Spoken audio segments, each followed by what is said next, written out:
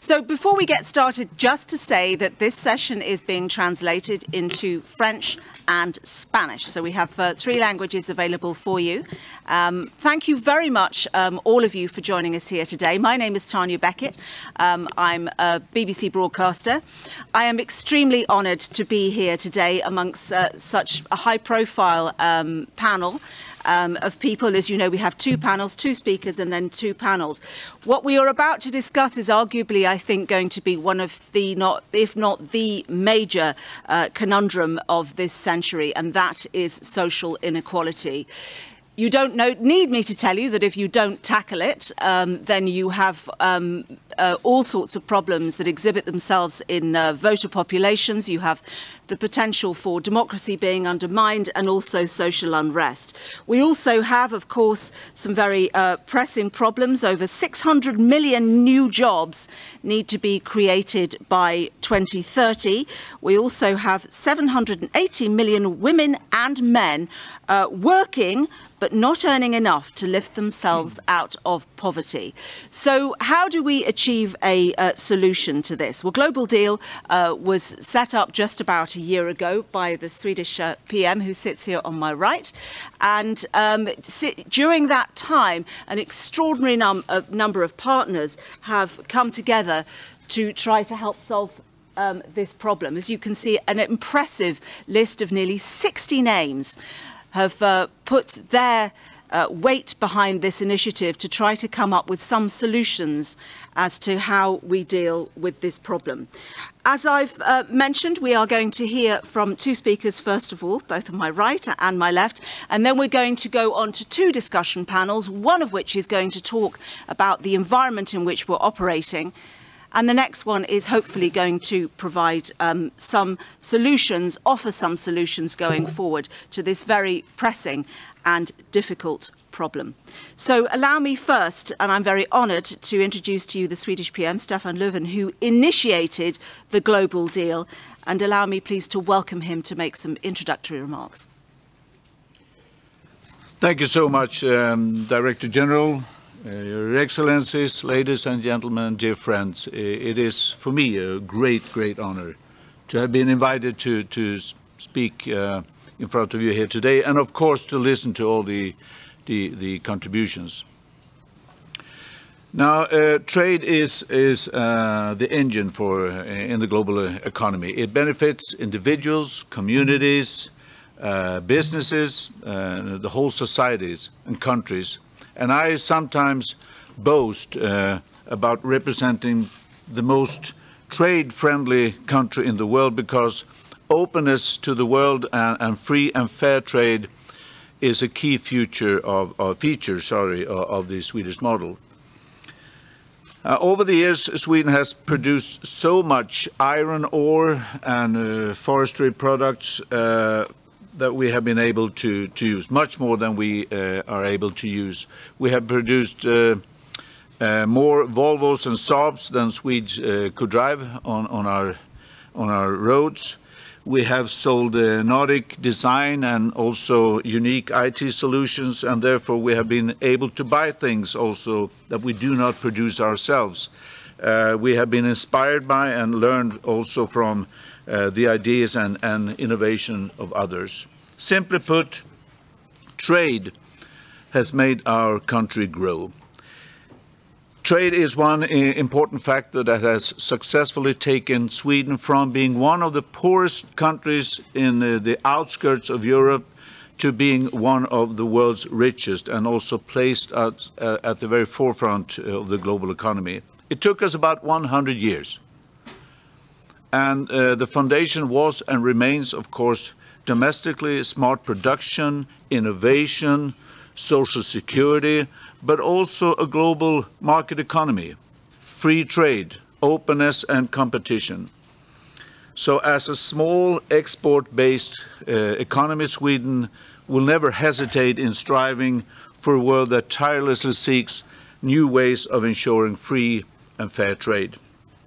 Now that is why I'm so pleased to be here today at the WTO, the heart of the multilateral trade system, to discuss how the global deal for decent work and, and inclusive growth can play a role also in trade discussions, so that the benefits of trade can be better and more widely uh, shared.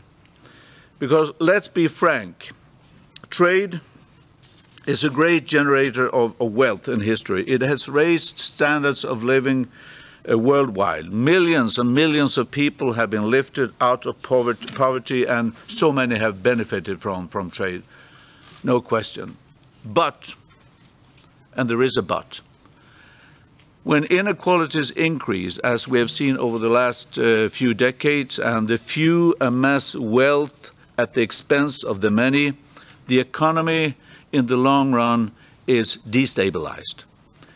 There is a growing international consensus now that reducing inequalities is one of the great challenges of our time. It is also one of the great opportunities of our time. We must address growing public skepticism over the benefits of free trade and globalization. We must address rising distrust in political solutions.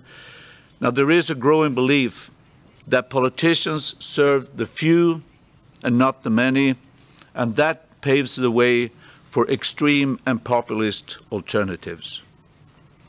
It is time to put people first. It is time to ensure that globalization oppresses no one, but benefits everyone. So addressing issues such as inequality, unemployment, and unfair practices is our moral duty, but it is much more than that. It's also the smart thing to do because it will boost productivity and strengthen our economies. It's also the most effective means of eradicating poverty. So let's improve access to the labor market, get more people into work. Let's ensure decent working conditions and put an end to unfair practices. Let's better manage the forces of globalization so that change can be and will be an opportunity and not a threat. And that is what the global deal is all about. That is, was also the conclusions from the summit on, um, on fair jobs and growth uh, the European Union summit that we held in Gothenburg in Sweden last Friday. These are the conclusions. And in that perspective, social dialogue is an important tool for managing people's fears and, and sense of unfairness, and also for channeling, channeling their innovativeness, their dedication, their pride in their work. And for this reason, we can also say, if you want to improve a society, if you want to create inclusive growth, make sure you improve people's working conditions. Now, the aim of the global deal is not to promote a, a specific model, but rather to create a political impetus and cooperation platforms to promote social dialogue. The Global Deal Initiative encourages labor market cooperation and collaboration, and by that also enhancing economic stability and shared prosperity. I'm convinced that social dialogue is the best way for workers and employers to improve both working conditions as well as the business climate, based on local and national circumstances, and of course governments must be a partner in this dialogue. And the, this win-win-win situation is a driving force behind our uh, initiative, uh, the Global Deal. And at the same time, countries must actively contribute to, to promoting uh, democratic uh, development, uh, basic un trade union rights, basic human rights in the labor market, but also good conditions for the enterprises, meaning basic education, retraining, infrastructure, energy, access to capital, and so on. And this is the very foundation of, of social dialogue. So our objective is for the global deal to strengthen workers, businesses, and societies alike, and to become a concrete tool to help to achieve UN Global Goal number eight, to promote decent work and uh, economic growth, but also goal number 10, uh, to reduce inequalities. There are already a number of governments, businesses, trade unions and other organizations pursuing this initiative together now with the ILO and OECD. The global deal builds on voluntary commitments from its partners. So far, uh, 58 partners and, uh, are there, and I do hope that also your organizations, companies, and countries will join the global deal. Lastly, thank you for hosting us, Director General. Uh, I greatly value this cooperation. It is important. I very much look forward now to listen to the experts here today and to the advice of our eminent panelists. Thank you so much. Prime Minister, thank you.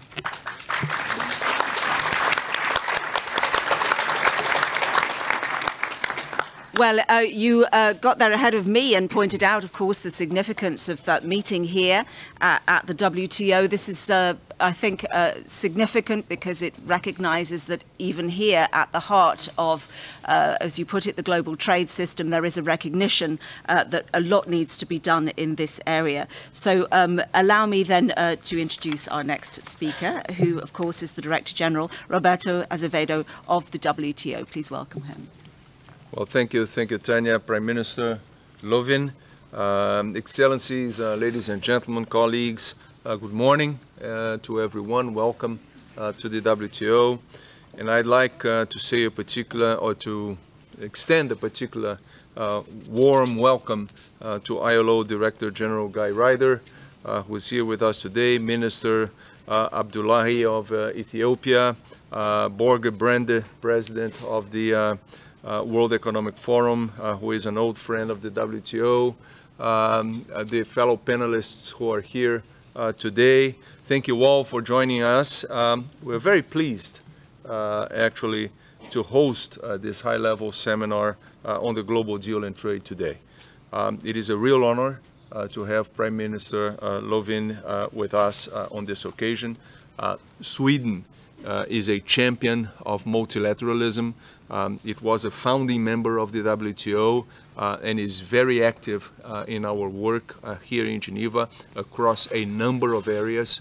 Um, and indeed, uh, uh, Sweden uh, is one of the main donors of WTO programs which aim to help the poorest members to build their trading capacity. And I think that this shows our shared belief that trade is one of the best uh, anti-poverty uh, and pro-development tools that we have. So I'd like to take this opportunity uh, to thank again uh, Sweden and Prime Minister Löfven uh, for your engagement and your uh, generosity. Um, and Sweden's leadership does not stop there. Um, you're helping to set the agenda on many international issues, and the global deal is just a very important example of that. Um, the global deal has uh, social dialogue and collaboration at its core. Uh, and it draws attention to issues that are close to our heart here at the WTO, uh, such as uh, making uh, the global economy more inclusive, uh, such as spreading the benefits of trade to everyone. And I want to commend Prime Minister Löfven again for his leadership here. Um, when we met earlier this year, uh, the Prime Minister was very keen uh, to work with uh, international institutions uh, to support this initiative, so I'm glad to continue that conversation today. Uh, in fact, today's event builds on our ongoing WTO trade dialogues initiative. And this is, this is an initiative of the WTO that is also broadening the conversation and hearing from new voices. Uh, it's about ensuring that stakeholders uh, can highlight issues that are important to them. And in this way, uh, broadening um, and enriching uh, our debates at the WTO. Uh, since the Trade Dialogues initiative was created, we've had a, a, a, number of important and insightful conversations, reaching out to business, to labor, to think tanks, academia, um, and others. Um, so now I'm pleased to see how these complementary efforts like the trade dialogues of the WTO, the global deal, how they can be an engine uh, to help drive inclusive growth uh, everywhere. So clearly this is an important conversation um, because while uh, globalization uh, has brought progress overall, uh, we need uh, to recognize that not all have been able to participate and to benefit uh, from this growth. So many people feel disconnected uh, from economic progress, and we need uh, to respond to this situation. And this means using all tools available to promote growth, development, job creation, and inclusivity. Now, to help inform the conversation today, I'd like to build uh, on the work that the WTO has been doing on this front. Um, for example, uh, inclusivity uh, was at the forefront of our conversation at this year's public forum, uh, where we looked at the big issues uh, at the heart of the current uh, public debate on trade. Um, and to support this, we launched the 2017 World Trade Report, um, which looked precisely at the interplay between technology, uh, trade, and jobs. Um, and, and earlier this year, uh, we, because this was in September at the public forum here in the WTO, uh, earlier the, in the year, we launched two other uh, publications uh, focused on, uh, on these topics. the first one was a joint report with the IMF and the World Bank um, aimed at making trade an engine of growth for all. And the second paper was a joint report with the ILO that looks precisely at the relationship between trade, skills, and jobs in today's economy. And this activity has generated a wealth of data uh, and many interesting uh, insights, and I would like to share with you uh, a few points, three, no more than three, um, with you today. The first one uh, is the unprecedented speed and pace of changes in today's economy. Um, of course, uh, the story uh, of economic progress is also a story of economic change and adaptation. Now, as before, uh, individuals, firms, societies are looking to adapt uh, and they are looking to respond uh, to evolving economic technological conditions and to share in their benefits. Um, however, uh, what is different from the past now is the, the pace and the scale of these changes. Now, just to have, uh, just to give you an idea of what we're talking about, uh, with one dollar uh, in 1990, uh, you could transmit one bit per second. One dollar in 1990, one bit per second. In 2002, one dollar allowed you to transmit 10,000 bits per second. In 2005, just three years later, the same dollar could transmit 100,000 bits per second. And we looked at that over time, and that is exponential growth, and it doesn't look like it's slowing down. So that is the reality of today. Uh, automation, digitization, and new business models are revolutionizing the global economy in a way that is structural. Uh, and of course, this has an impact in the way that we trade and that we do business. Uh, trading services, data, uh, and information is surging across digital platforms. Um, and we know that uh, traditional trade in manufactured goods, uh, agricultural products, or natural resources is also increasingly enabled uh, by digital technologies. And all this, of course, presents many opportunities um, to leverage these forces for growth and development. Um, and I think that this will be potentially the defining uh, challenge of our age. But understanding and seizing opportunities is just part of the story. This is not the whole story.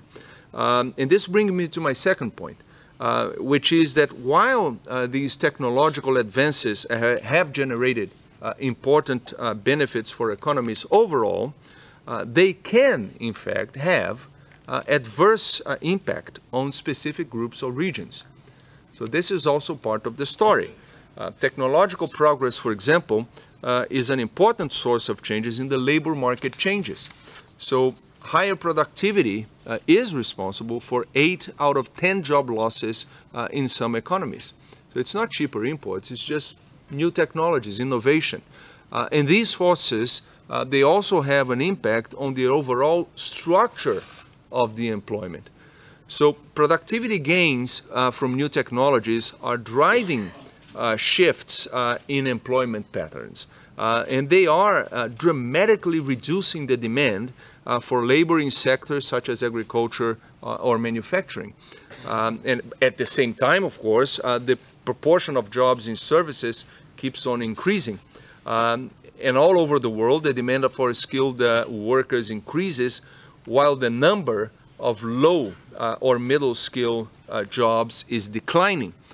Now, these changes, um, they raise important uh, adjustment challenges as workers uh, who lose their jobs uh, in declining sectors or in those exposed regions, um, they may not always be well equipped um, to adapt to these changes and to fill the jobs that are opening up somewhere else.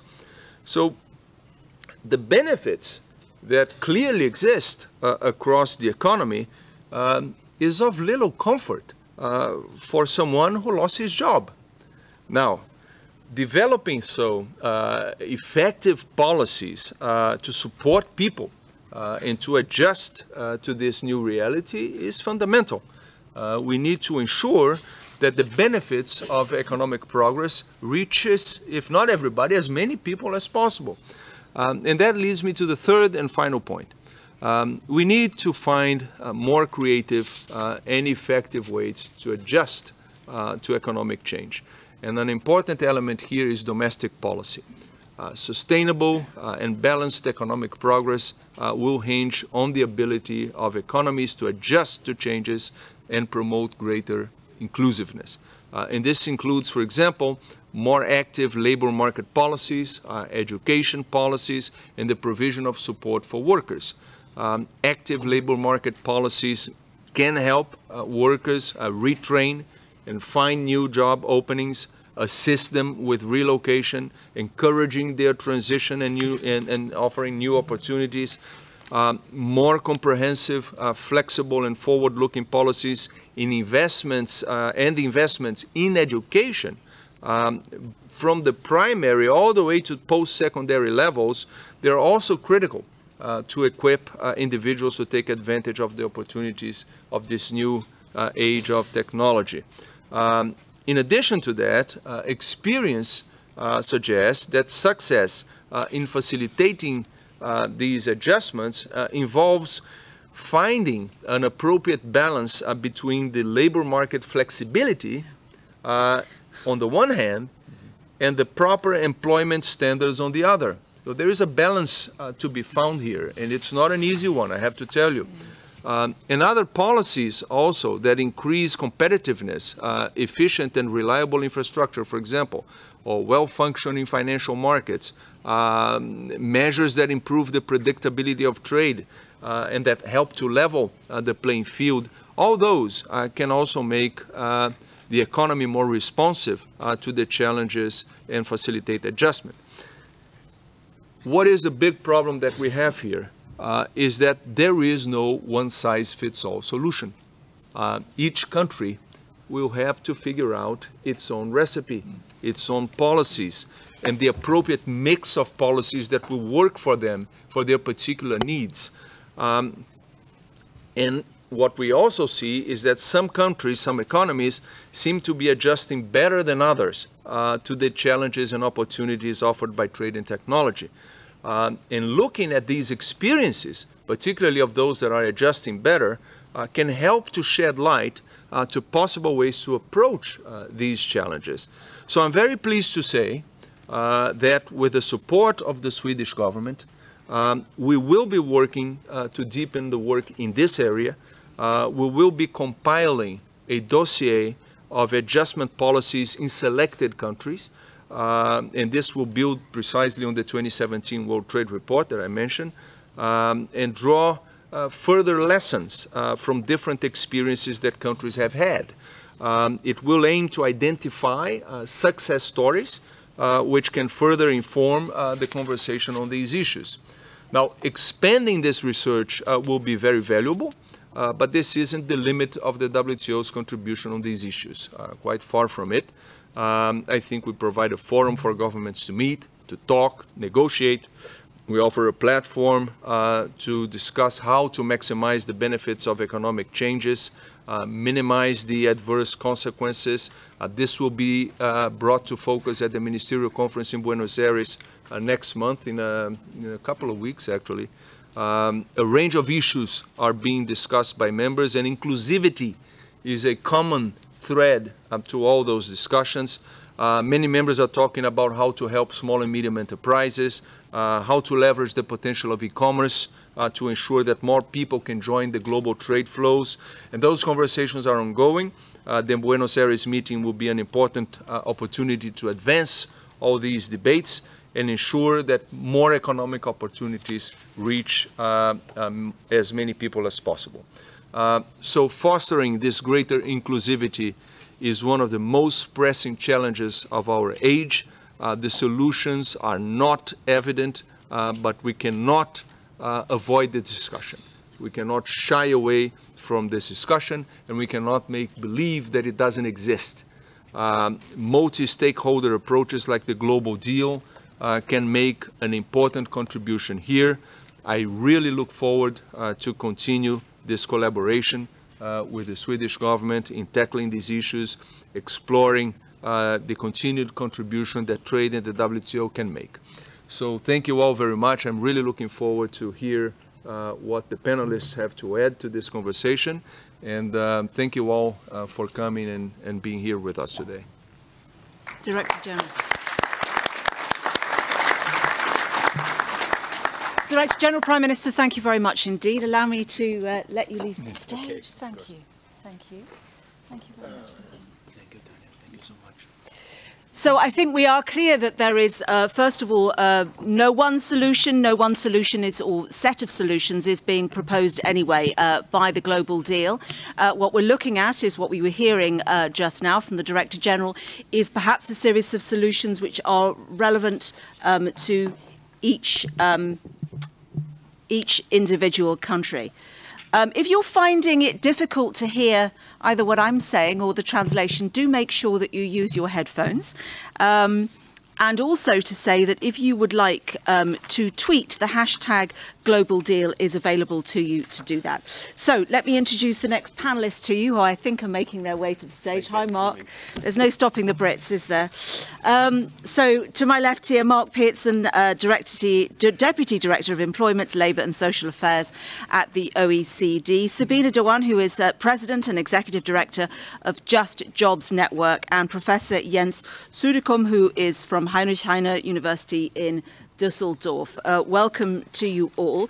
As I said at the start, I think our plan now really is to look at um, what it is that we're experiencing in different parts of the world and then move on to the second panel and get a little bit more specific about what solutions apply where. And then we know where we're heading uh, with what the global deal can offer us. So um, Jens, allow me to um, call on you first. I know that you've done extensive research on the subject of the fallout and where we experience this social inequality widening. Um, and we're going to talk to you first about in the more developed economies and then come to Sabina, if we may, to talk about uh, developing economies. So, uh, Jens, first to you. Yeah, so thanks, Tanya. Um, Mr. Prime Minister, um, Director Generals, I'm very pleased to be invited to this, to this very high-level and great event. And uh, so you're going to find a draft that Sabina and I have put together. Um, and I think the paper should be in front of you on the table. And the point that we try to make in this uh, joint paper is um, that trade creates enormous benefits, uh, actually to an extent that it has the potential to make everybody better off. But the very important insight is this doesn't happen automatically.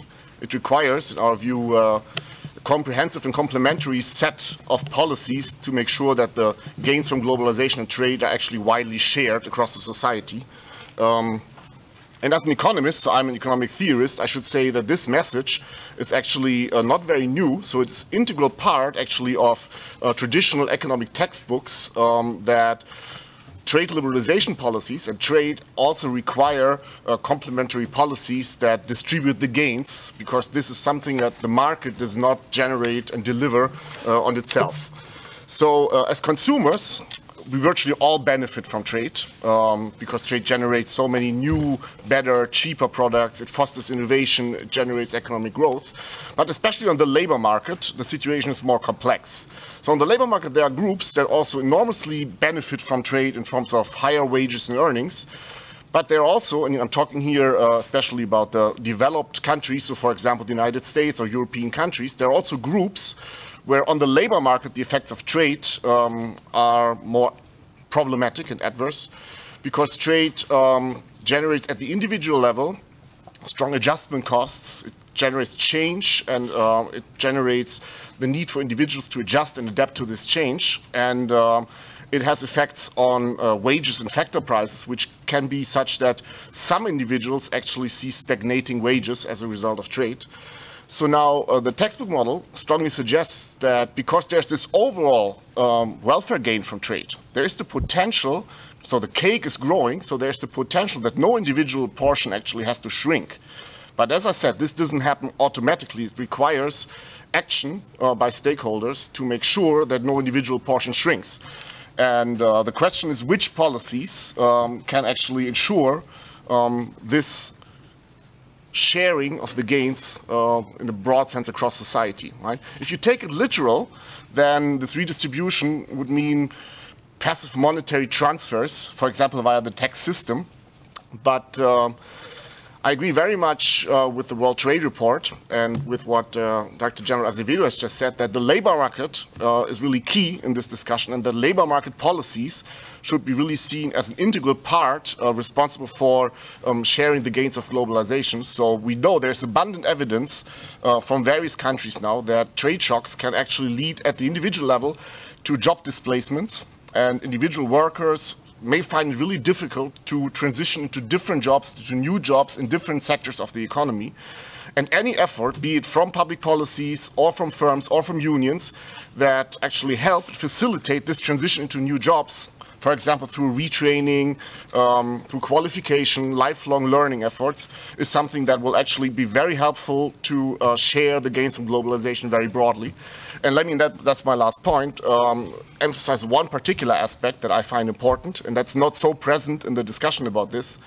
We know there is evidence that the adverse effects of trade on the labor markets, that they tend to be concentrated very often in particular regions within countries um, because industries and sectors, they are not uh, you know, distributed equally across space. They tend to concentrate in particular regions.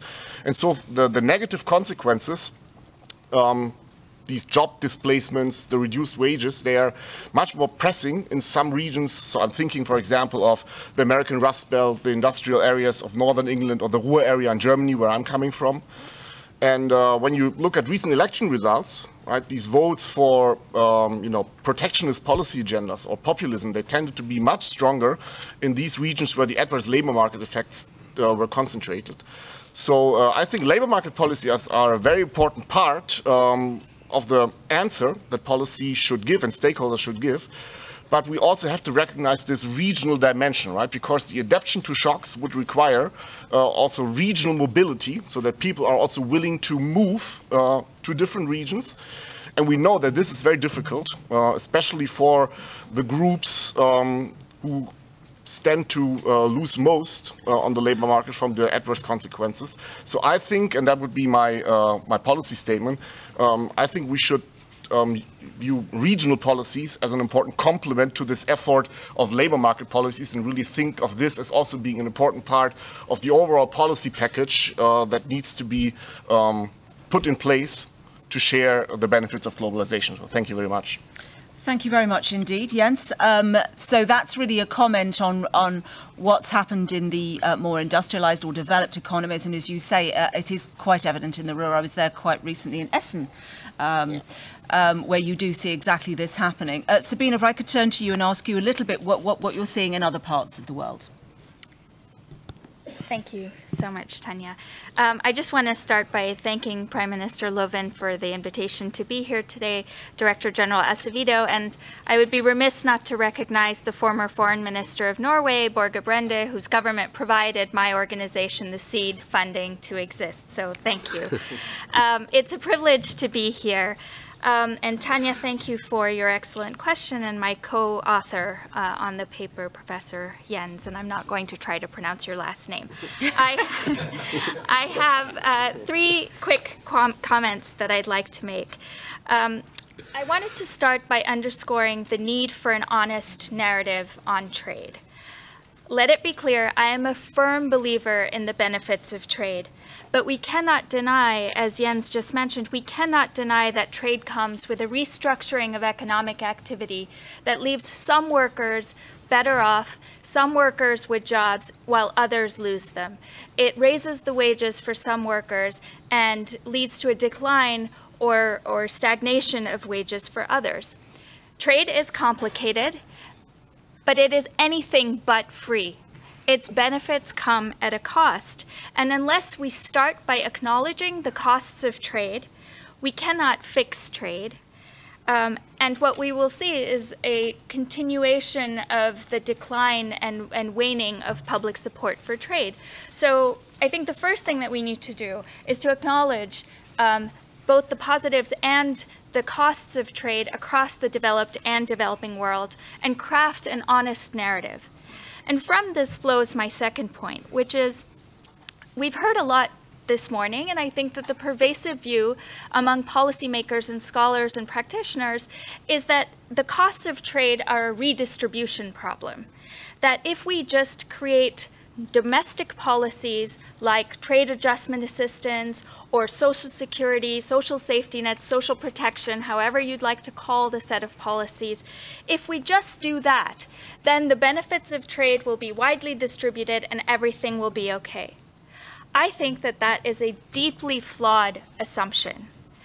Um, redistribution is important, but before redistribution, we must actually think about how trade is structured and governed to begin with. We live in an era of value chains. Um, world trade in intermediate goods is now greater than all non-oil traded goods put together. 80% um, of global trade measured in gross exports is now linked to the production of multinational firms. Take an iPhone, for example. Designed by Apple in Cupertino, assembled by Foxconn, a Taiwanese company based in China, components from over 700 suppliers across over 30 countries. We live in an era of global value chains, and trade is increasingly uh, exchange among corporate entities determined by their bottom line, governed by the private law of contracts. So how do we govern this form of trade?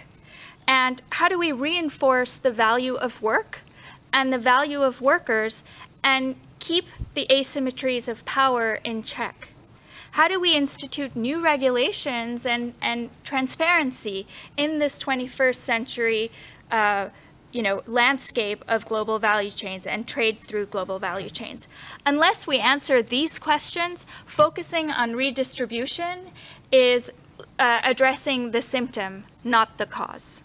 And finally, I'll just, if you'll allow me one more minute, just to make, um, make a point about where I think the global deal can make a really significant contribution. This is an ex excellent opportunity. The global deal is an excellent opportunity to chart a new path forward, to break from business as usual. I think first, we must devise a real and provocative research agenda, and I underscore the word provocative. We must not sacrifice nuance, and we must not sacrifice an honest narrative for the sake of political correctness. Political correctness is for us in this room. The average person out there doesn't look at political correctness. They look at how this transforming world with technology and value chains and climate change is affecting their ability to provide for themselves and their families. So let's move beyond political correctness and come up with a real research agenda around trade and the way that it's affecting people's lives. Um, so once we have this research agenda, we must operationalize this research agenda, not just by working with multilateral institutions and with tripartite partners and multinationals, that's extremely important, but we must also equally work with grassroots organizations, civil society, small businesses in global deal partner countries on the ground to see how integration into value chains is really playing out on the ground. Um, and it's critical to understand these issues before we can figure out how to treat them and to form real partnerships um, and social dialogue in communities, in cities, at the local level, in global deal countries. Thank you. Sabina, thank you very much. I think it's becoming clear that the causes of growing inequality and therefore probably the solutions are uh, manifold. Uh, trade, of course, is something that we all want to continue to do. There's an enormous impetus behind increasing um, trade flows um, and internationalizing trade. Also, labour market flexibility. So how possibly can they sit along the other problems that we have, which is growing inequality, also the growth of technology and um, in many countries, an aging working force or an aging population, I should say. Uh, Mark, what could you uh, add to that discussion to uh, perhaps try to reduce its complexity? Great. Well, yes, thank you very much. And indeed, thank you very much to the Swedish Prime Minister for this brilliant initiative of the Global Deal. I think that's opening up the possibilities of having a proper conversation internationally about these issues. Uh, and yes, Tanya, you're quite right. We're not just talking about one megatrend, we're talking about three incredibly important megatrends going on at the same time. Yes, trade, wonderful. We have the globalization, the opportunity to sell products, to buy products uh, from all around the world. That should be making us richer. We have uh, technology, which should be vastly increasing our ability to, to produce goods and services. And we have population aging, so we're living longer. We have more opportunities to, to take advantage of what should be this increase in consumption. And yet, we look at our outcomes and we're in a mess. We're not using those megatrends and turning them into better living standards, certainly not better living standards for all. We have higher unemployment in some countries. We have sluggish, sluggish wages due to low productivity growth, job insecurity, uh, and poor quality jobs. And so we're not managing to turn the advantages of those megatrends into what we need for people. And I'm not surprised, therefore, that we're seeing backlash against globalization. E even in a country such as, say, Denmark, if you look at people who lose their jobs due to technology or trade, and you follow their incomes, even after five years, on average, those people have not yet got back up to the income that they had before they lost their job. In a country like the UK, on average, after five years, you're 30% poorer than before you lost your job. So displacement due to trade or technology is something that people are right to be suspicious about because it might be making the economy better off, but it's not making the individuals affected better off, or at least not all of them. And I think that's the real challenge we've got. Uh, taking all those trends together, what we're seeing, it's not exactly that we're seeing fewer low-skilled jobs and more high-skilled jobs. In fact, we're seeing more low-skilled jobs and more high-skilled jobs. The jobs that we're losing are the jobs in the middle the good jobs, the jobs that most people could aspire to. You don't need to have a fantastic level of intelligence, but you could imagine that you'd have a good standard of living. And in developed countries, those jobs are going relatively rapidly. Now, what's the consequences of that? One of the consequences we've already heard is this widening in income inequality. So, you know, three decades ago, top 10% in rich countries were earning seven times as much as the, top, as the bottom 10%. Now, 10 times as much. But it goes way beyond just inequality. If you look at countries like, say, the United States or Canada, before the economic crisis, and you asked people if they were middle class or lower class or upper class, 70% of people in North America were saying that they were middle class. You ask them now, it's down to 50%. And I think that's a sign of the loss of confidence in the economy, the loss of confidence in the future. We do lots of statistical analysis about whether it's trade that causes this, uh, these changes or technology. For what it's worth, our most recent study suggests it's mainly technology driving these changes rather than trade. I think it's a bit of an artificial discussion, however. I mean, the reason why firms introduce new technologies is because they want to trade. Uh, they want to become richer. So you can't really separate these things out. I think we need to, to treat them together as mega trends that are affecting the labour market.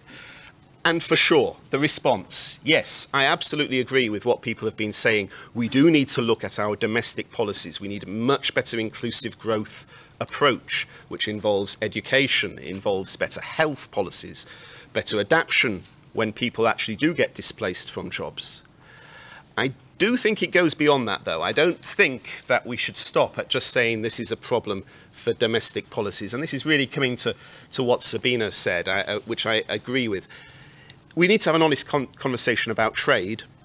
We need to have an honest conversation about other aspects of the international system. W will we really get inclusive growth if we don't address the issue of tax evasion and tax avoidance? Mm. Will we really get inclusive growth and confidence in the international system if we don't start looking at international labour standards or corruption uh, uh, and responsible business conduct. I mean, this is an area where the OECD has done a, a lot of work to try and get some sort of responsibility for the entire value chain of companies that are based in a developed country so that they do actually have some sort of responsibility about labour standards right the way through the, uh, the value chain, right the way down into the countries where they do the production. So I think yes, certainly we need to do an awful lot in the domestic sphere, but let's not forget all this huge international agenda that we must address, and I really hope that we can address this as part of the global deal going forward. Thank you very much.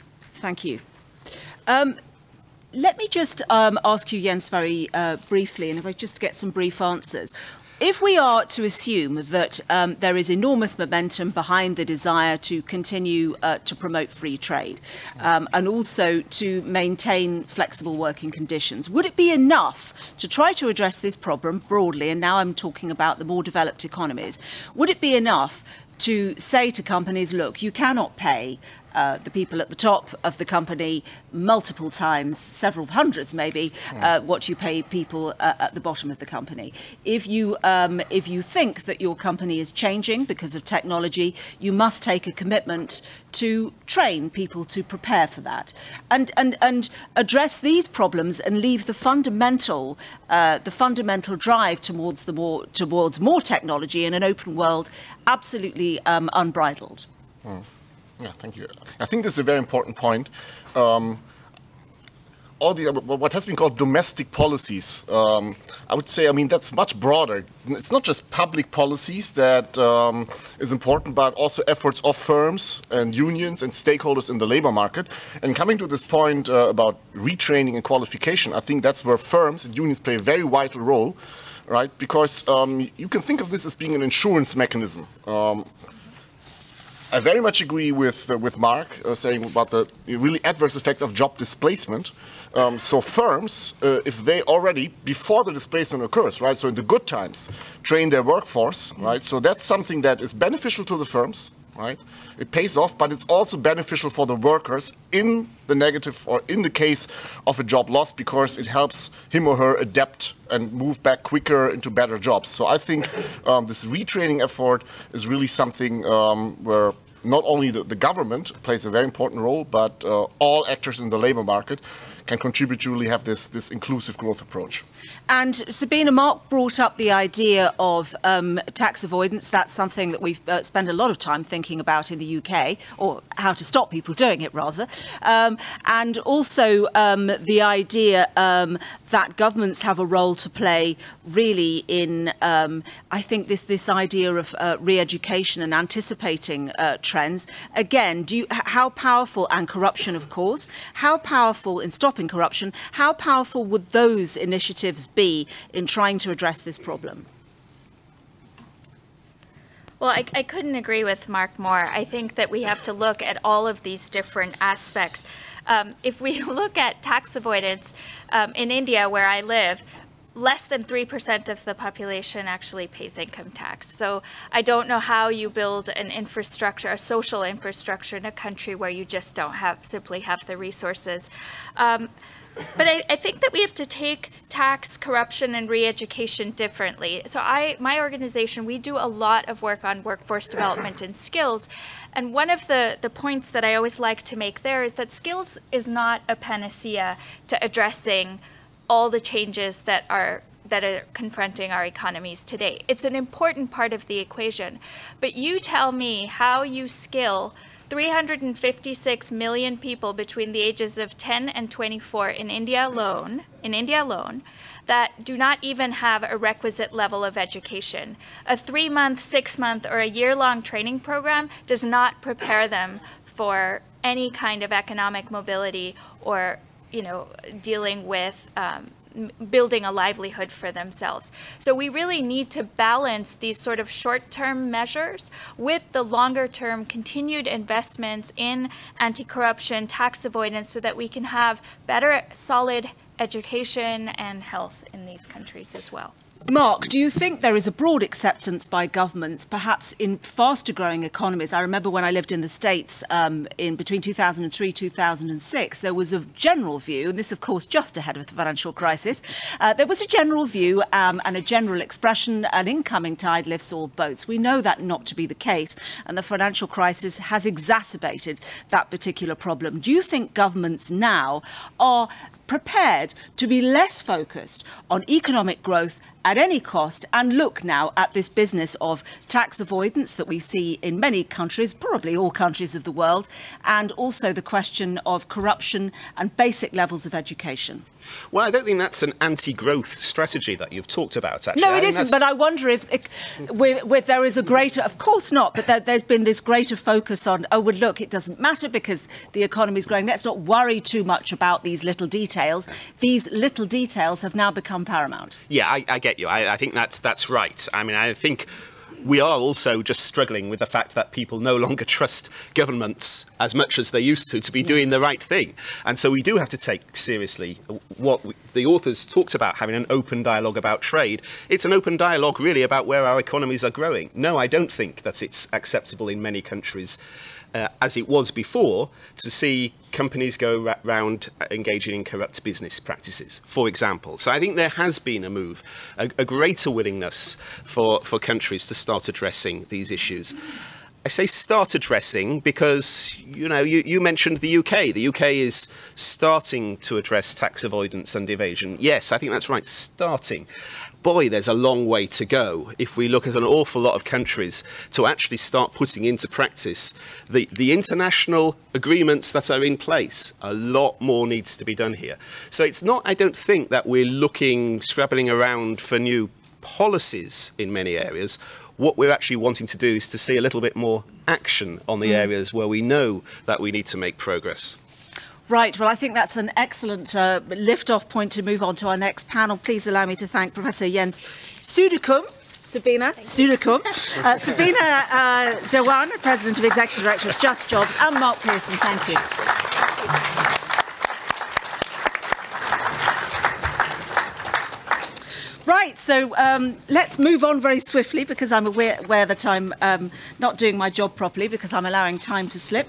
Uh, Guy Ryder, please, uh, the Director General of the International Labour Organization, uh, please uh, come up. And Abdul Fattah, who uh, uh, has, or Mr. Hassan, who is the Minister of Labour and Social Affairs in Ethiopia. Bo Brende, the President of the World Economic Forum. Uh, Pierre Habbard, who is the acting General Secretary of the Trade Union Advisory Committee to the OECD, and Joakim Reiter, who is Group External Affairs Director at Vodafone Group. Welcome to you all and thanks uh, for joining us. Guy, I'm going to start with um, you on um, my right here. Um, we were hearing um, a little earlier uh, that um, there is this very delicate balance between uh, labour market flexibility, uh, which companies um, always seek, and the need for uh, fairness. How do you square that circle? Thank you very much, Tanya. Very, very. And can I ask all of you to turn up your mics? Is this? Are you having a problem hearing us all? because that's really frustrating and I'm really sorry. So we're all going to press plus here and hope that nothing goes dramatically wrong. yep, could you press the plus sign? Not on the headphones, but on the mic thing. Is that better? Yes? Good, yes. Okay, Guy. Alternatively, I could just shout a bit. You can Um, shout. You can Uh, shout. firstly, Tanya, uh, and to the organisers, thank you very much for including us in this very uh, important conversation. You've asked me to say something about this vexed issue of flexibility. Yep. I've been struck by uh, the, the previous panel and what was said in the introductions, uh, that the term flexibility has been thrown about um, in, in, in meaning rather different things, actually. And I think it's important that we try to distinguish what we mean when we talk about flexibility.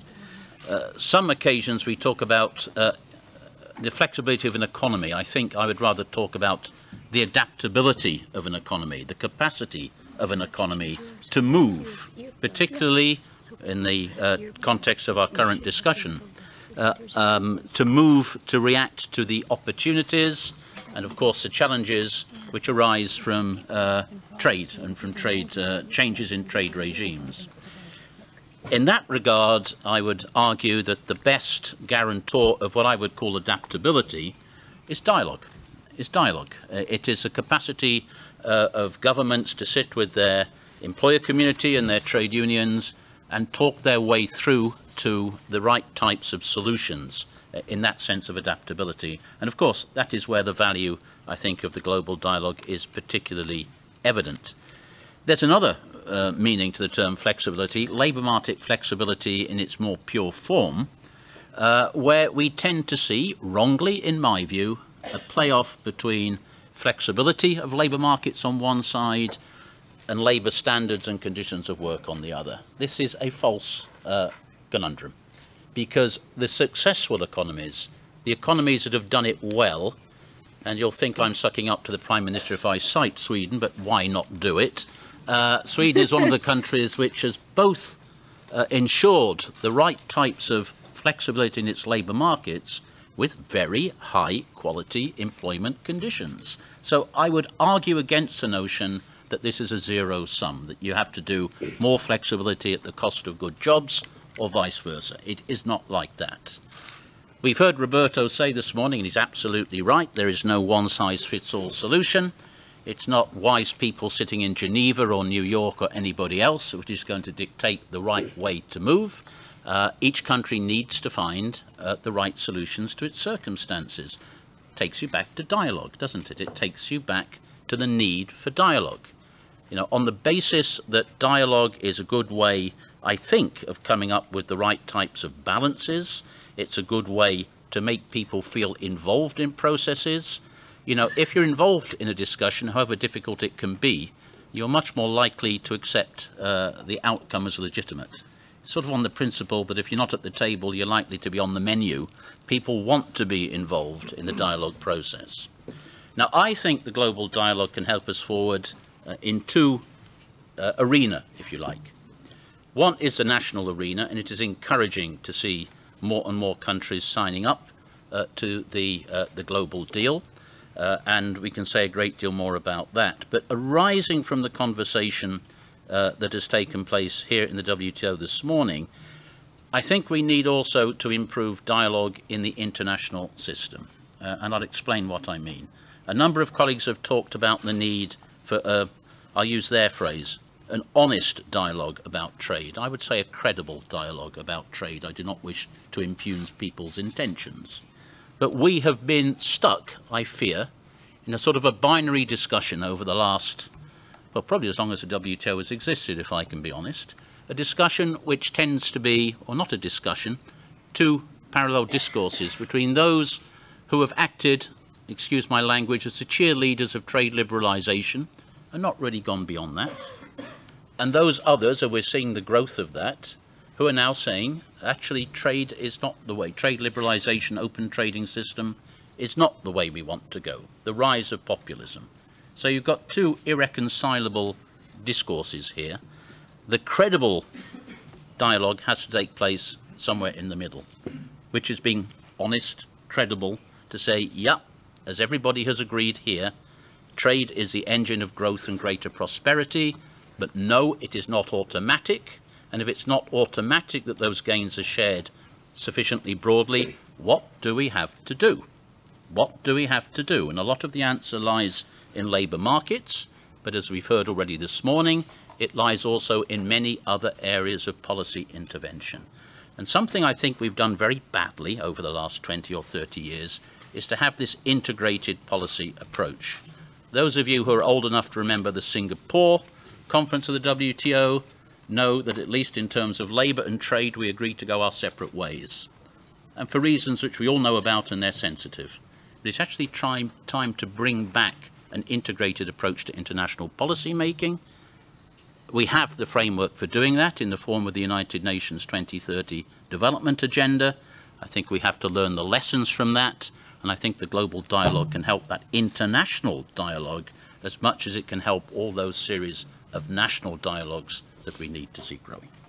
Right, thank you very much. So on the subject of national dialogues, we've already established that solutions are very different for very different countries and and uh, and um, very different situations. Uh, so let me um, turn over to now to Mr. Hassan, who is the Minister of Labour and Social Affairs of Ethiopia, a country that has embraced enormous amounts of technology and development very, very, uh, very, very quickly. Over to you. Thank you.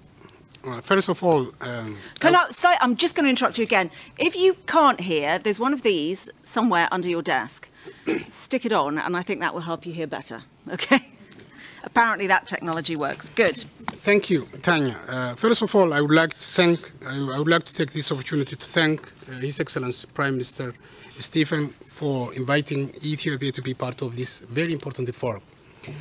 Um, to begin with, uh, we live in an increasingly globalized wor world where interrelations determine the future of nations, where technological change is becoming ever more rapid, where international successes affect all aspects of national, economic, political, and social life.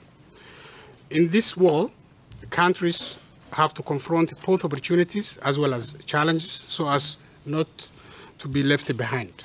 Therefore, in this regard, what the global deal plays is a very important role, uh, which corresponds to the concern of our nations, especially in a country like Ethiopia, and it, it will also contribute to strengthen the common efforts that can change the impact of globalization on our socio-economic uh, performance. We can benefit a lot from this global partnership uh, as it focuses on enhancing social dialogue and sound industrial relations. Um, in our continuous efforts and commitment towards uh, achieving sustainable development goals and sustainable and social uh, development, Ethiopia attaches greater importance uh, to social dialogue and tripart tripartism. We have uh, ratified most of the core conventions of the International Labour Organization and also the Tripartite Convention uh, number one and number 144, 1976. We have a well-organized tripartite uh, structure whereby the government, employers, workers' organizations come together to discuss the issues of social dialogue and decent work. The government of Ethiopia, above all, recognized that, recognizes that improved labor uh, administration and the labor relations lead to better working conditions. In this regard, uh, as a country, we are committed to maintain harmonious and stable labor relations. So I think uh, global deal also can contribute to the existing uh, standards and systems that we had. And it will serve as a global uh, forum where we can deepen our uh, experiences and also share some, some, some other values. Perhaps the most uh, difficult task will be uh, to develop greater organizational capacity because without capacity it will be very difficult for, for any country to actually benefit from, from the globalization. So uh, the, the capacity of employers, the capacity of workers, uh, not just uh, to bring about a change, but also that will, will, will also uh, enhance their, their capacity to manage uh, changes. Eradicating also poverty is also another uh, very important issue and also Uh, in order to, to sustain uh, development, uh, which is also uh, our overriding concern and uh, also uh, contribute to the, to the well-being of the, the society. I think the issue of eradicate, eradicating poverty is very important in a country like Ethiopia. we have we are of the view that uh, the effective cooperation and the partnership among important actors in the multilateral system is central to collective efforts of all. And I think uh, it will also ensure uh, the implementation of the Agenda 2030, uh, that's the Sustainable Development Goals.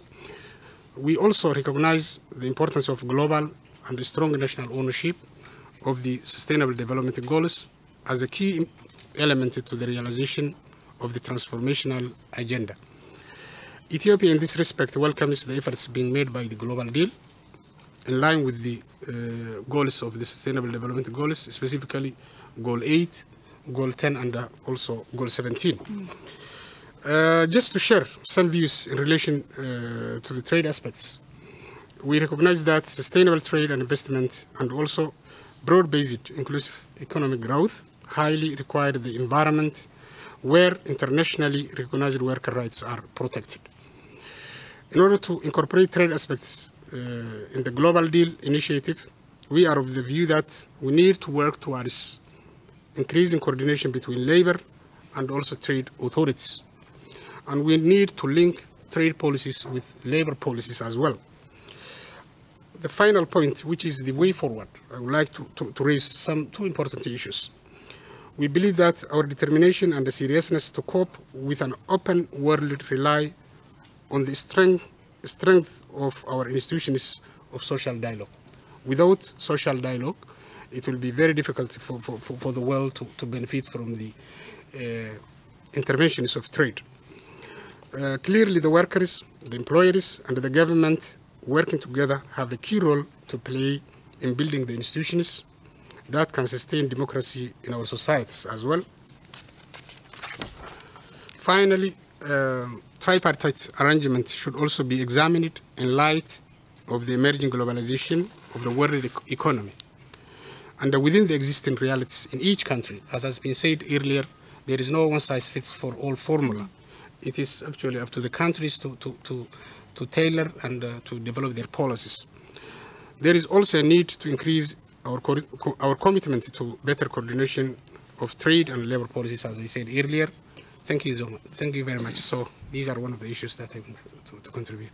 Don't turn your mic off. We might want to talk to you a bit later on. Thank you. so, uh, Børge, uh, you're now um, heading up the uh, World Economic Forum, so it's a very good uh, meeting point uh, for people from all sorts of different, different nationalities and uh, parts of this partnership, companies and so on, NGOs, governments. Uh, so you've only been a very short time in the job, to, but just to force you to hit the ground running, uh, what, what, is, what is popping out to you as some of the solutions that might be at hand here? Some of the uh, low-hanging fruit, I suppose you could say.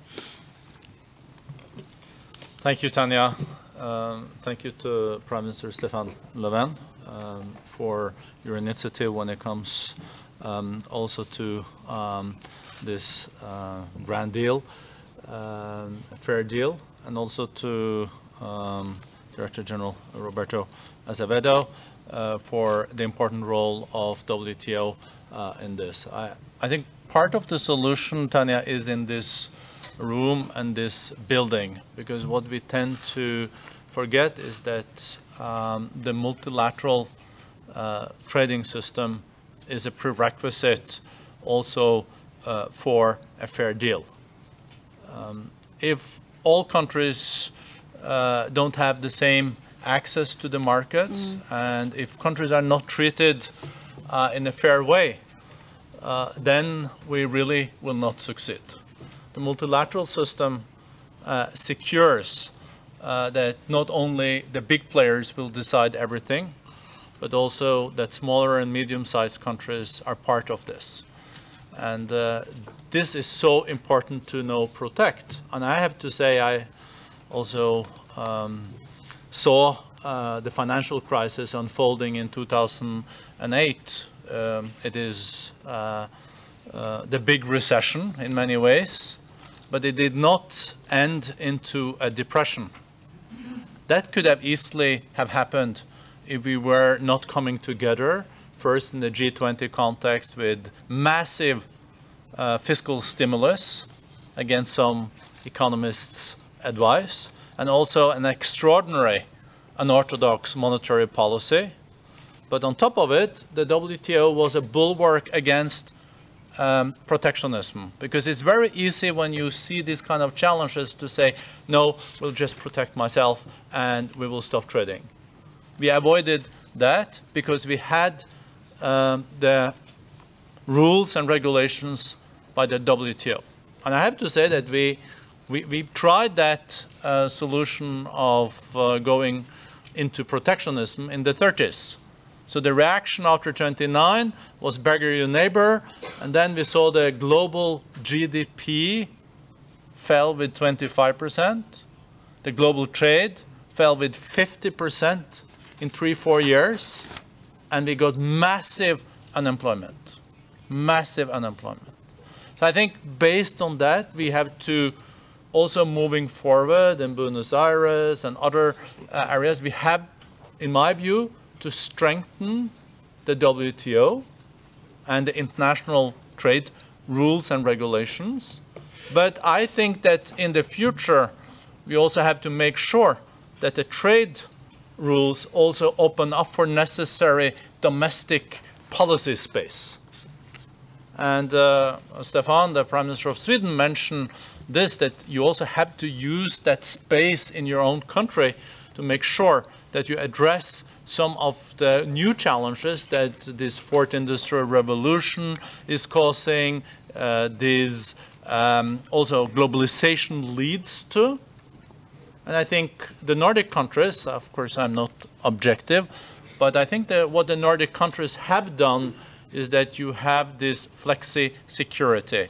You have upheld the labor standards and the salaries, but a company in the Nordic countries know that if you are losing a lot of money and you have to close down. That can happen. Then you can do that and the state takes the responsibility then to move someone away from one area of business to another one. But if you as a company know that you will, uh, even if you're losing a lot of money, bleeding, you cannot change because you have to stick to this. That is a kind of uh, situation that also makes it harder to employ people. Mm. You will not see um, willingness to employ young people. Um, and you know, we should not forget that domestic policies still do matter. Argentina was the richest country in the world after the Second World War. It was not that after 15 years it took to change economic realities my country, I, I, will not start a competition with Sweden here, but my, my country, Norway, was the poorest in Europe 120 years ago, together with Iceland and Ireland. 800,000 left for the US. Today, Norway is not in that category, but we built out uh, education for every child. 99% of our children are still in governmental schools. We built a robust tax system, the ownership to gas, uh, oil, and also hydro uh, was mainly um, administered also by the government, but we still have a very competitive uh, economy. I think we can uh, be inspired of some of these policies. And this is also uh, the World Economic Forum's competitiveness report that comes out every year. It also puts those countries um, scoring quite high that also are upholding labor standards, that are using a lot of resources on uh, education. Even competitive countries have marginal taxes close to 50%, but it is about how do you invest these tax revenues? Do they go uh, to the people of the country? Are they invested uh, in the right way? Then coming back to the bigger picture now, what are we faced with on this globalization picture? We are moving from 7 billion people today to 10 billion in 2050. Imagine just all the jobs that have to be created. We still need global growth. Without global growth, we will not have these jobs created. The global trade system with WTO has also opened up for countries that were poor to enter the global market. We should not forget that. That's created challenges in some of the developed countries, but in the middle income countries, this has created enormous opportunities. And as was also said um, by uh, someone here, that 70% of the jobs that we are seeing, seeing gone now in the US or also in Europe are related to technological changes. 30% is due to the competition. I don't think in the future we can uh, stop or should stop uh, competition or this globalization, but we have to look at those policies that are necessary to make the growth more inclusive, sustainable, and job creating. That's why also the World Economic Forum has convened groups looking at sustainable investment dialogues. We are also uh, part of this global alliance for trade facilitation, making sure that developing countries can take part of this because their challenge is that they're under globalized. And then we also have to have an inclusive global value chain platform, and this is what we are inserting. I could have gone on, but I, I see you're getting a little bit anxious, so thank you. I always look anxious. That's just the way That's your job. That's my job to be anxious. Uh, yeah. Um, so you advise the OECD, Pierre, on um, issues of trade unions. What advice are you giving right now? uh, well, actually, uh, the TUAC bring a voice to the OECD, the voice of organized labor, of National Trade Union Confederation. Uh, and we spent quite a lot of time whispering at the ears both of the OECD staff, the OECD Secretariat, and member states. Let me perhaps first uh, thank uh, Stefan Löfven and the Swedish government for, uh, for launching this initiative. Rest assured that the labor movement firmly supports the global deal, and for a simple reason, it's actually part of our own business to do social dialogue. That's why we're here. That's why we are here at the local level, at national level, and at the international level. And we will do our best to mobilize all the stakeholders, including business groups, to join this initiative. Three remarks uh, that I will share with you. I'm lucky because I'm coming at the end of this uh, conversation this morning, so I, I can uh, do some mini wrap-up in the time that is allocated uh, with you. Uh, on the global governance system first, um, Guy Ryder mentioned that, in fact, we are celebrating, for good or for bad, important events that was held in nine, end of 96 and, and in 97. Uh, the ministerial, the, the third WTO ministerial in Singapore in December 96. I was not there, but I took the time to read the transcript of the preparatory meeting that trade unions were organizing weeks before, weeks before this important ministerial. And we were very confident, we were fairly confident that in Singapore we would obtain a deal for better cooperation at the for a mechanism between the WTO and the and the ILO. Obviously, we did not get that, and without go, dwelling into detail, that was a bit of a traumatic mo moment for, for the labor movement. Perhaps it being a, a, a, a moment where a, a, part of the labor movement changes position, changed position vis-à-vis -vis, uh, vis-à-vis trade. Six months later, in Paris, the OECD failed to, uh, to come up with an agreement on a multilateral uh, uh, investment agreement, the, uh, the MAI. And this time, it, it went the other round. It was an initiative to strengthen governance, to strengthen uh, um, coherence within not a global level, not a global level, but a fairly uh, important size uh, of the economy. And it failed because perhaps, and for sure, in fact, this was an agreement that did not respect all the stakeholders uh, uh, of trade, of investment. Uh, I did not take due account of the right to, to regulate. So that was 20 years ago. So my, our, from a trading perspective, clearly we have an incomplete uh, governance system. Uh, we are, uh, and for sure the way further would be to what Guy Ryder mentioned, uh, a robust and credible new renewed conversation between this House and the ILO, but also perhaps indeed other institutions. Tax was mentioned. 60% of trade happens within multinational enterprises. How that wealth is distributed is depending on transfer pricing guidelines.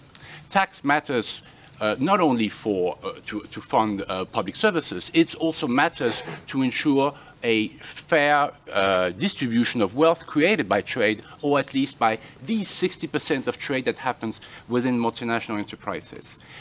A second message I will share with you from a trading perspective is what is the model that we want on the domestic front. We agree, no one size fits all. We are not all Swedish, okay? But I think we all agree that there are some pretty good best practices that we can share uh, from, uh, for, uh, from the Nordic country. Particularly this idea, and I'm quoting again Guy, but this idea that this is not a zero-sum game uh, that, we, uh, uh, that we are dealing with how to improve. I must say, uh, from the labor perspective, we are not necessarily too enthusiastic with a model that would boil down to compensate the, the losers in a vast creative destruction game, you know, with a bit more social safety net, uh, a bit more redistribution. We need more than that. So part of the solution is indeed more skills, more access to skills, skills, skills, skills, as the OECD would say. But okay, that's good but we don't think that's actually tackling the issue of workers in Foxconn, uh, in the supply chain of, uh, of, Samsung. These are people, they need for sure more skills, but they need first and foremost respect for basic occupational health and safety standards. If they need skills, it's skills to, for the right to organize collectively. So our basic message perhaps on, on the domestic front is that, yes, why not engage a conversation on flexibility, in fact? It's true that from labor movements, it's not necessarily a word that we like. But what we'll say is simply, let's have flexibility that is negotiated, that negotiated between the stakeholders, between employers and unions, and flexibility that is collectively organized, that is collectively uh, uh, uh, managed. And this is where the initiative of Global Deal has an important, perhaps, message, is to whether you, you use the word adaptability, adjustment, or flexibility. It's something that has to be negotiated between the key stakeholders of, uh, of the company. Uh, and that obviously would include this in a context where, you know, whether you like or not, there is an erosion of the bargaining power of one party in this business, which is workers.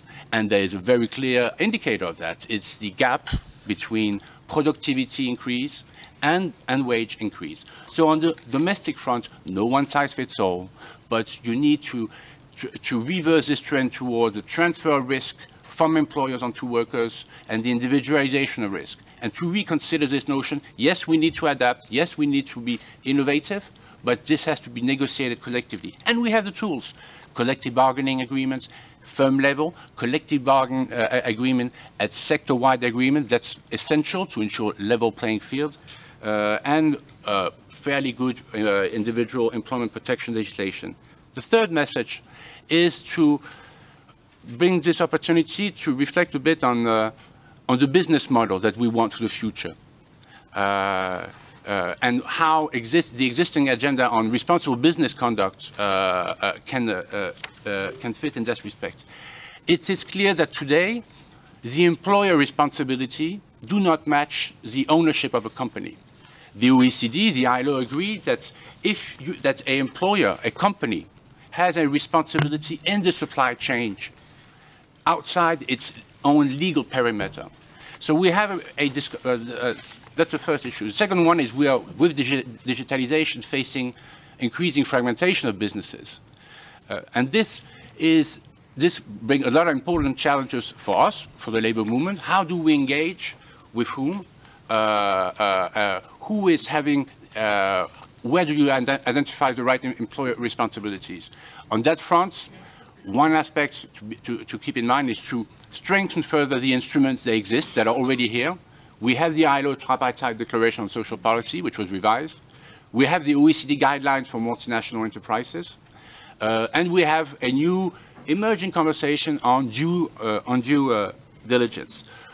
And beyond that, let's also reflect again on what is a firm. There are again good examples to, uh, uh, to bring on board from Sweden, from the rest of Europe, on uh, the existence of works council, stakeholder governance, models that precisely, again, ensure a good balance uh, uh, of the risk and, and of the benefits created by wealth, balance between the shareholders, the management, and the workers. Thank you. Pierre, thank you very much. Um, so uh, let's uh, turn our thoughts now um, to the corporate sector and Joakim Reiter um, from Vodafone Group. Uh, Joakim, you've heard about um, some of the ideas being floated. How does it work within Vodafone Group.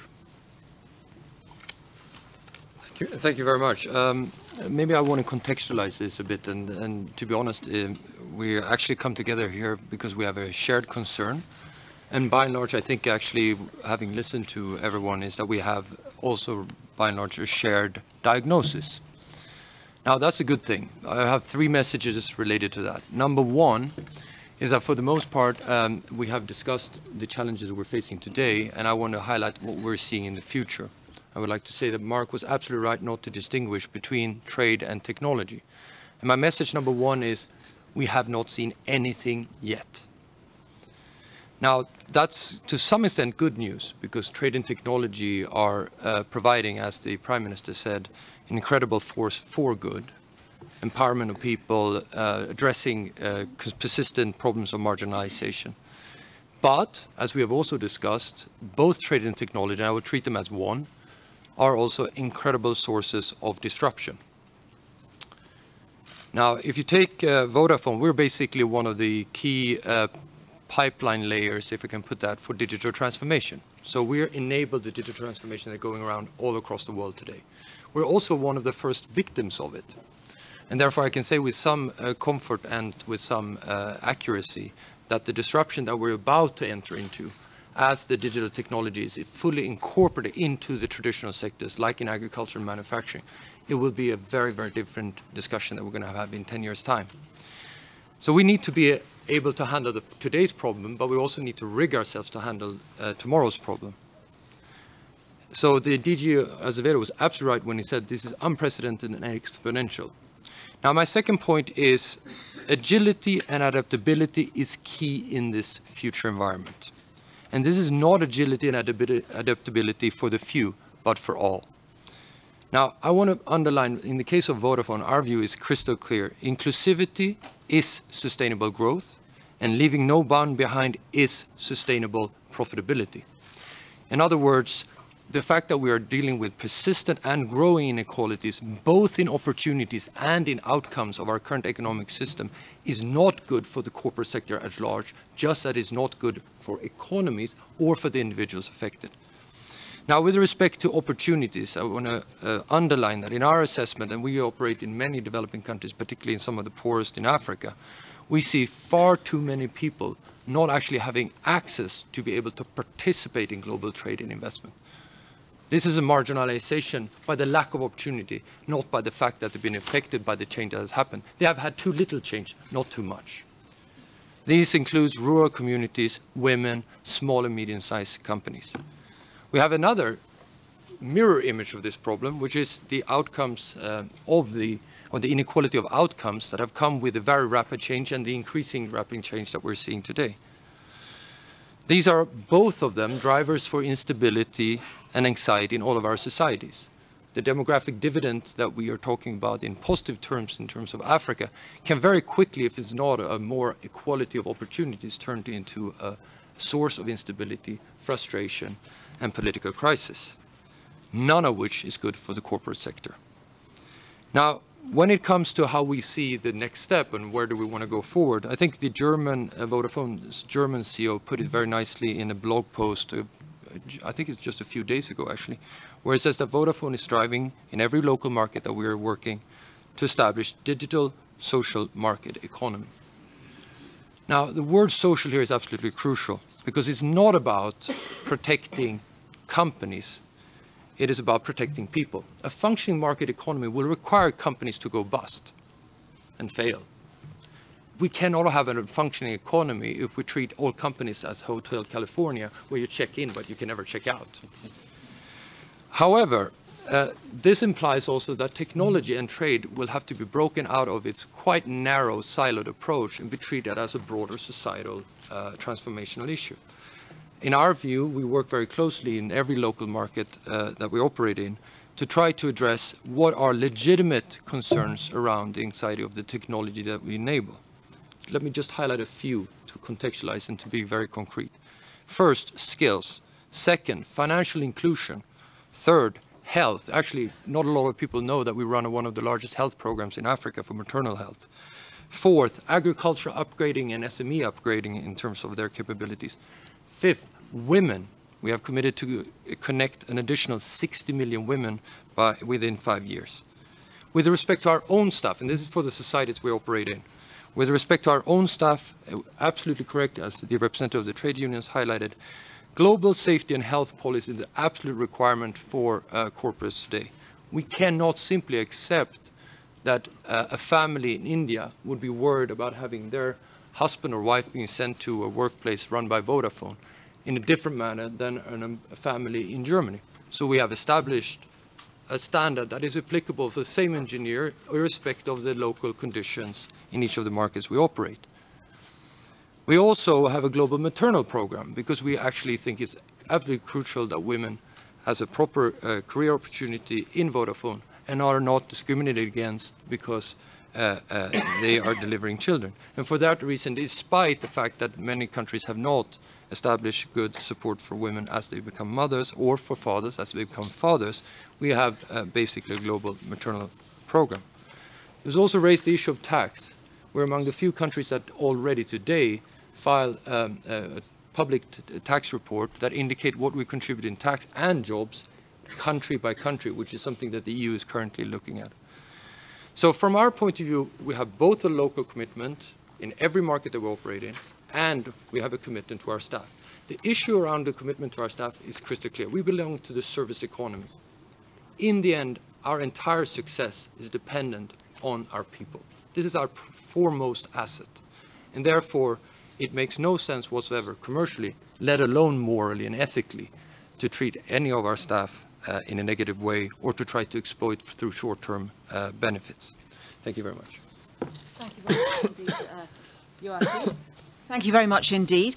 Um, I thought it was uh, many, much of what you said very interesting there, but what leapt out to me in particular was that it is not in the interests of the corporate world to see this disparity of um, wealth and to see this inequality develop because quite simply you can't sell your products to uh, uh, people who are not benefiting from the development of trade. So I think that's, uh, that's very interesting. It's also not in the interest of governments to allow this to develop. It causes social disintegration um, and social unrest and and um, uh, voting patterns, which uh, governments uh, probably find difficulty with. So at the point at which you move away from something being a moral imperative, in my experience, having covered uh, business views for a long time, when it stops becoming just a moral imperative and becomes an economic one, then you start to get uh, traction on some of these problems.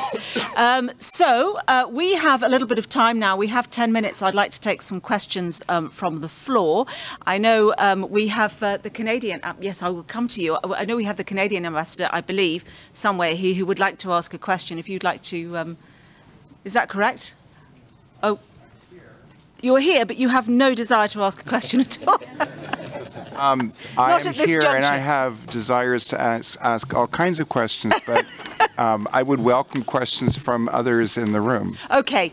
Um, I think, uh, yes, please, if you'd like to. Uh, Yes, please. Let's come to you first. If you'd like to say who you are and where you're from, please. Oui, euh, bonjour à tous. Oh, sorry, just this gentleman. I beg your pardon. Yes, I'll come to you afterwards. I, I understand that you wanted to ask a question first. Yes, please. Sorry. My sorry. name is Hector Torres. I'm right now with uh, Canadian think tank CIGI, but I've been at the IMF and the WTO for many years. Okay, Canadian think tank, yeah. yeah. What is your question, please? My question is, it has been said here several times by several speakers that uh, adjustment policies have to be defined nationally. They will respond to domestic choices, policy choices. Yes. Now, however, implementing those uh, policies may require important fiscal efforts. They may even imply imposing uh, structural uh, changes that may uh, bring uh, uh, costs to the private sector. So they may affect firms' competitiveness. So my question is, isn't it, those are domestic policy choices, we agree, and they have yep. to be idiosyncratic. But isn't it a bit disingenuous to pretend that they could be done, these adjustment policies nationally uh, shouldn't they be uh, implemented in a coherent uh, way uh, right. To be, so to be to because otherwise they could compound trade tensions. Yeah. Okay. So there needs to be worse. some sort of international forum, is what you're saying. Um, saying interna- I would say promoting coherence in economic. Yeah. Should they be okay? So we have accepted that it's uh, not one size fits all. However, there needs to be some level of coherence. Would anybody uh, from the previous panel or this panel like to address that question? Yes, please, Morgan. I'll, I'll, give it a try. Um, of course, we have existing institutions like the Bretton Woods institutions uh, that uh, have partly that in their mandate, but we know the whole multilateral system, if we also then uh, focus on the UN, and for, for example, ECOSOC that could have uh, taken on uh, such a responsibility. We know that it was supposed to be the Security Council for Economic and Social Issues. We know that uh, to get consensus uh, in the UN these days, uh, we are in a polarized, fractured world, is not easy. So how to address this in a practical way? I have to say that the EU leadership uh, in this has been important. You have to also be a big enough market. I think that is your point. You have to be many players and actors coming together addressing this and what EU has done on competition, but also what the EU has done when it comes to addressing this tax base question. I think that's one of the elephants in the room. And of course, when you have uh, companies that get a lot of revenues from one country and um, it is uh, not having its tax base in that country, this is one of the issues that have to be discussed, and I think the EU is addressing this now heads on. Um, ideally, in an ideal world, we should also see a more multilateral approach to that. Um, that would be my preferred uh, solution. I don't think it's going to happen anytime soon. That's why also the World Economic Forum, with our platform being the International Organization for Public-Private Partnership, will play a role here. We invite companies, we invite civil society and governments to come together, for example, address the fourth industrial revolution. What is the societal effect of such a revolution? Will we, for the first time, address a revolution um, a paradigm shift in that way that are creating less jobs than more jobs? I don't hope so. Done in the right way, I think we can avoid it, but it also means and it has, it takes savvy policies to avoid this. So uh, trade blocks might be the uh, one centre, and there might be, but it, it is an interesting question. I interrupted the French ambassador. I'm extremely sorry. Please, would you like to um, give us uh, your question? Euh, merci Madame euh, la Présidente. Euh, Elisabeth Lorrain, ambassadeur de France. Je voudrais d'abord saluer le Premier ministre de Suède et saluer son initiative du Global Deal. Je voudrais confirmer que la France a rejoint cette initiative le 17 novembre dernier lors du sommet social de Göteborg. Et comme l'a indiqué notre Président de la République, nous pensons que cette initiative est exactement ce dont nos sociétés ont besoin et dont nos économies ont besoin. Alors je crois que le format de cette initiative est particulièrement intéressant. On le retrouve un peu autour des panélistes dans cette salle, avec cette association d'organisations internationales, en particulier l'OIT et l'OCDE, mais aussi les entreprises. Je crois que ce n'est pas si fréquent qu'il faut le noter et que cela va nous permettre d'aller de l'avant. Je crois aussi ce qui est important pour nous, c'est que dans cette démarche, on intègre pleinement la question de la promotion des standards de dialogue social dans le monde, car pour nous, le dialogue social est une valeur partagée qui contribue et qui doit être partagée et qui contribue à la croissance et au développement. L'initiative du Global Deal a déjà retenu l'attention des partenaires sociaux en France. De même, déjà, des groupes français ont adhéré à cette initiative et nous continuons, sous l'égide de la ministre du Travail, à vouloir fédérer et consolider cet élan. Je crois que ce qui est important pour nous, et comme l'a dit le directeur général de l'OIT, c'est le dialogue social. C'est un élément clé pour pouvoir progresser ensemble dans tous les domaines. Je vous remercie. Right, well, my French is reasonable, but it's not that great. So um, I understand what you were saying about France's engagement um, in the global deal and its value. Um, I missed, I think, uh, what the question was in there. Is anybody good enough at French to tell me. Non, il n'y avait pas.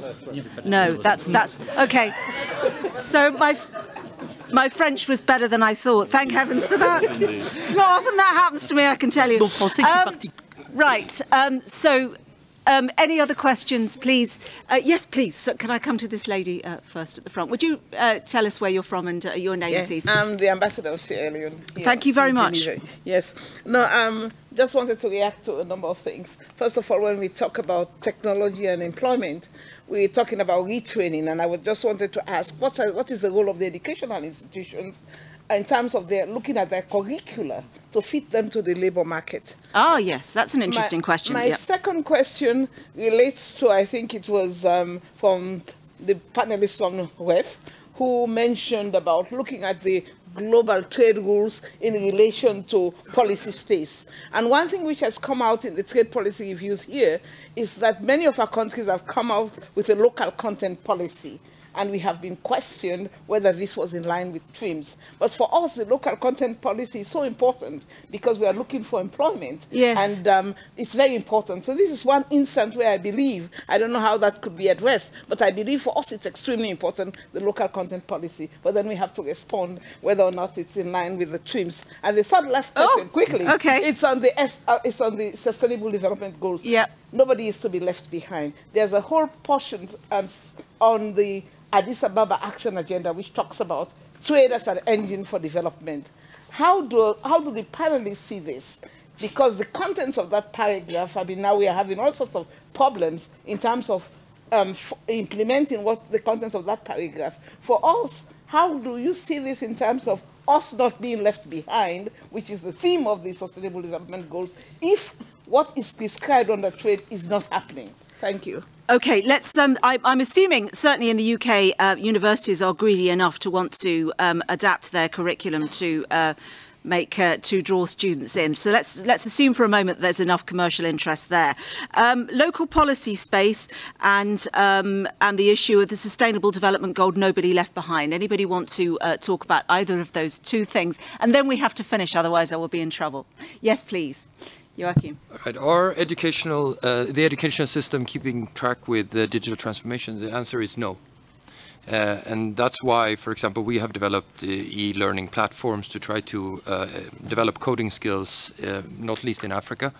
We are working with the Ministry of Education in every market that we operate. We do it together with Google and a number of other actors, bringing different actors together, Columbia University, to have the best education. But we have to link it to the local curriculum, because otherwise, what's the point, to be honest? So we are working very hard in every local market with the local Ministry of Education to make sure that they also upgrade the curriculum. I think there's a real problem here because uh, uh, government and uh, government, both on the political side and the administrative side, are having huge problems trying to anticipate what is something that is moving super fast. Yeah. And so, just to be very clear, could I just say on local content policies? If you're talking about local content that will empower people to actually be better participants in the local economy and therefore drive better benefits out of global trade or globalization at large. This is absolutely fine. I mean, in the end, if you, for example, talk about the app industry, e-commerce platforms, if it's not locally attuned, and we saw that, for example, in Turkey, where women could not access the local, the more advanced e-commerce platforms, we developed an SMS service so they could upload. So you need to always localize the content in the sense of empowering people. There's a different question going around in WTO as well as facing companies, which is where uh, governments try to say, well, I don't have this manufacturing today, could I have it tomorrow?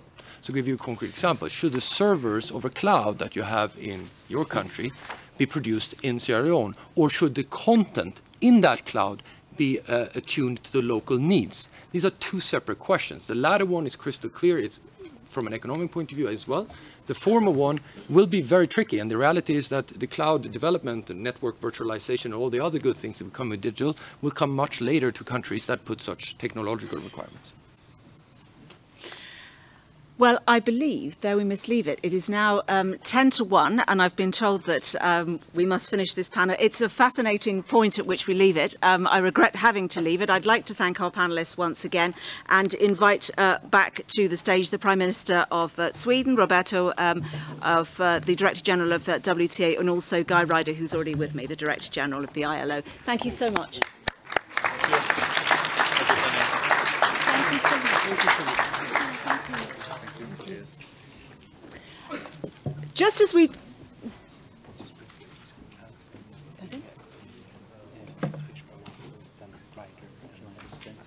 Okay.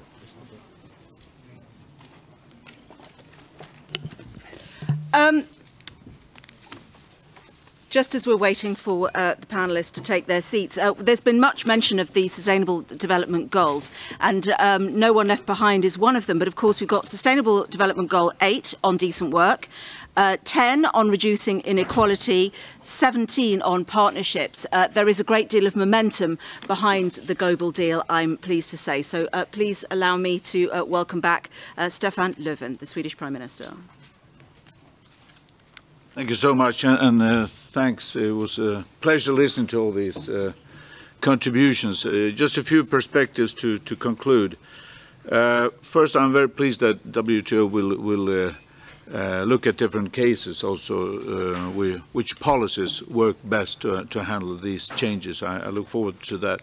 I would like to add a perspective that we haven't brought up including myself, and the, that is the, the gender perspective. I think we need, need to be very uh, cautious here to, uh, as we do with all different policies, that we bring in the gender perspective. Uh, so we're screening all our policies also from a gender perspective because that needs to be done. So I would just, uh, I would like to add that. Um, secondly, I, I think uh, someone mentioned the pace and the scale of the changes that we that we're looking uh, that we're having uh, already have, but also in front of us. I think that that is um, that is an even stronger motivation for a social dialogue, because I think uh, what we are facing is is the unknown. We try to predict how the society will will uh, will develop and change, and some we can predict, but not everything. And that means that we have to be even more cautious on, on having this dialogue so that we can uh, predict the best we can. But that must include all the, the stakeholders, the actors, because if not, uh, it will be uh, more difficult to, to handle. Another thing is that we are dependent on one another. I think that is crucial also to see. This will not happen if we, if we cannot act together because the best uh, result will be when, when we act together. I just, I just want to mention a very concrete example from the, the company in which I used to work as a welder. Uh, some 30 years ago, we, we were asked, approached by the company, and they said, we need to increase the productivity in our company because otherwise this manufacturing will, will take place in another company. Can you do anything about it? And we said, we'll look into it. We came out with the results 30%, 30% increased productivity. 30. How was that possible? Uh, because it meant that almost a third, uh, a third of the workforce in that part of production had to leave that production and go into something else. It was possible because I knew when I negotiated with the company that yes, some of the workers had to leave, but they will have a job in some other part of the company. If you take that perspective into a national perspective, what does it say? This kind of change need to be handled together. So if you lose your job there, you know that you will help, will get help, support for the retraining, you find a path to a new job, and while doing so, you will, you will manage uh, also from an economic point of view. It won't be a disaster.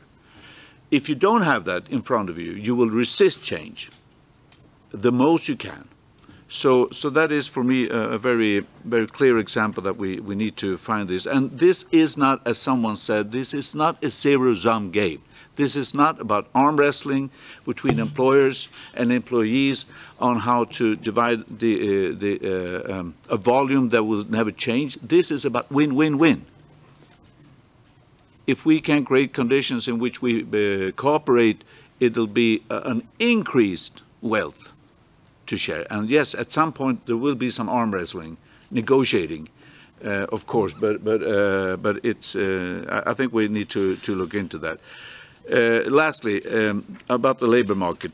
If we look at the labor market as um, there's one supply uh, side, there's a demand side, and uh, we look at the supply side. How do we train and, and equip the workforce with the best competence ever that we can do? Is one side of it, yes but the demand side is also important.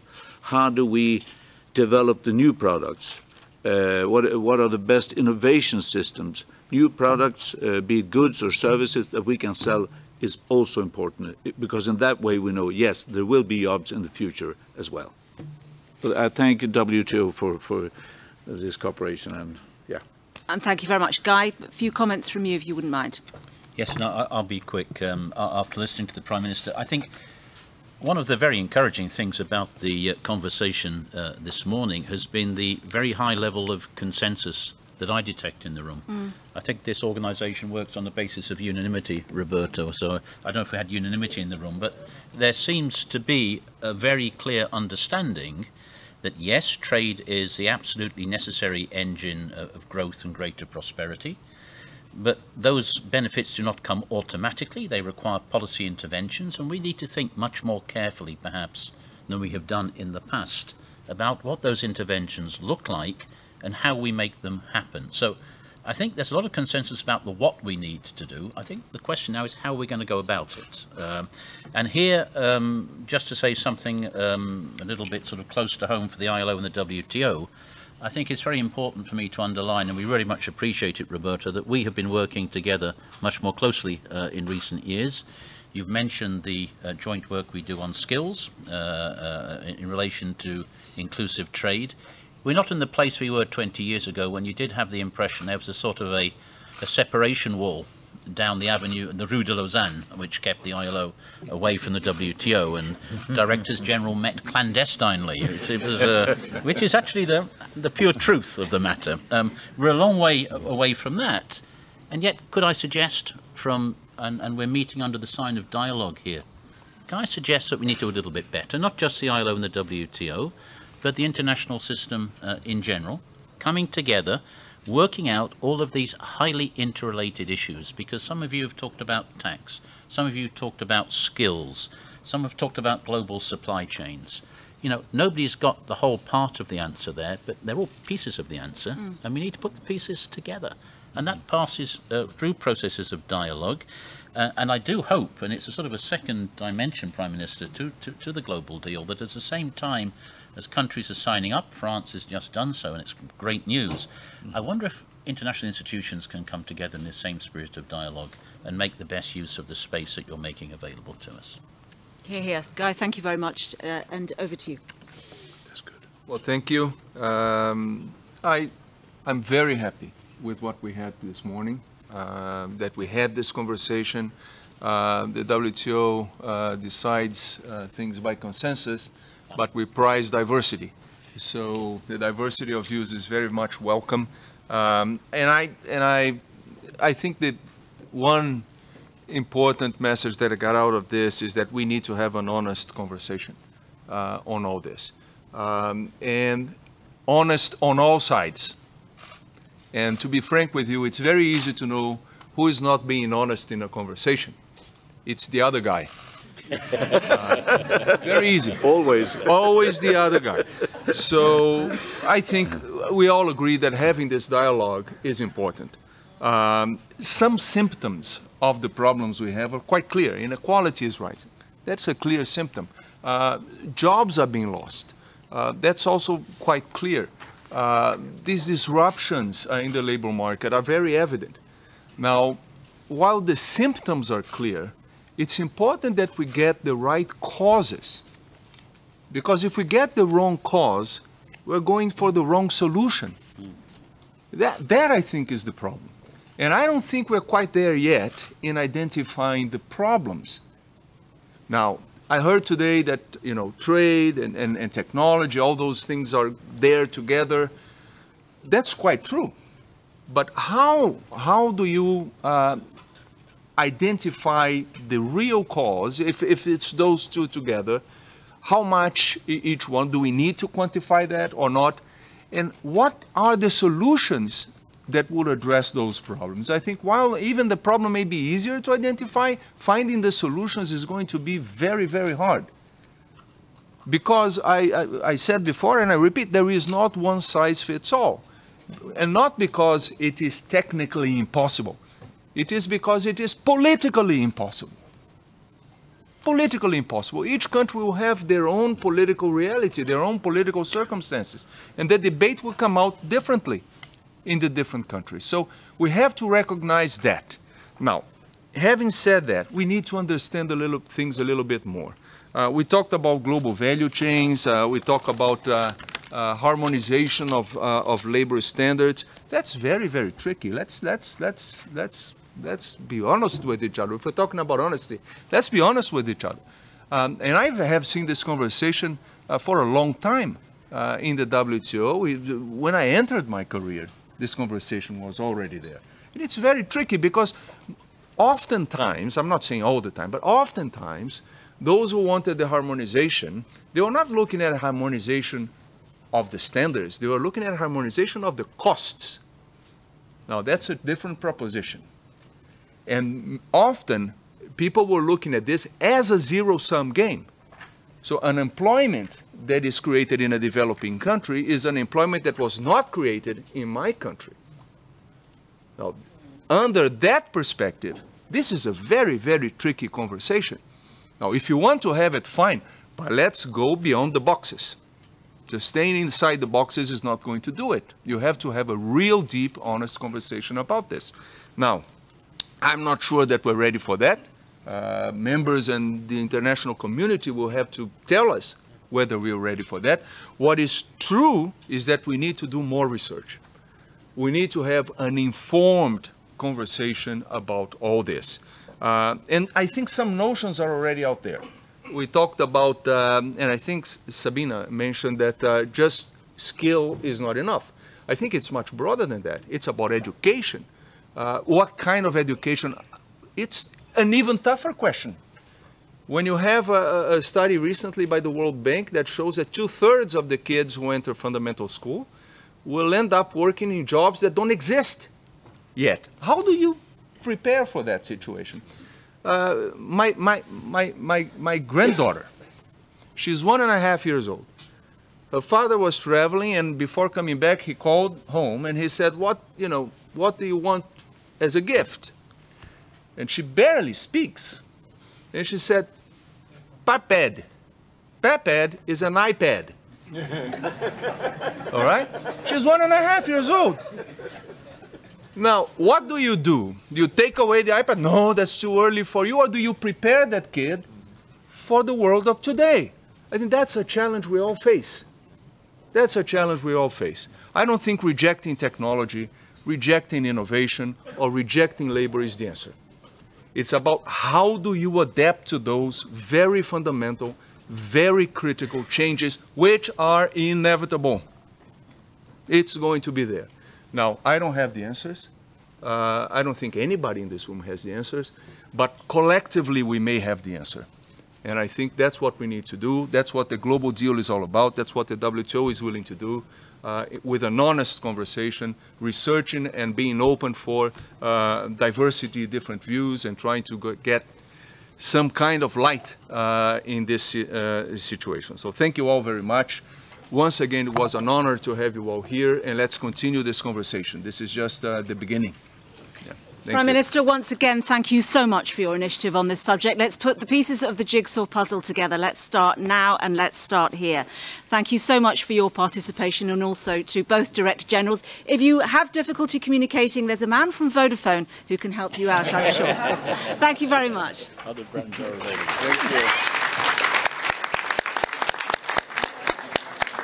Thank you very much. Thank you. Yeah, it was very, very good job.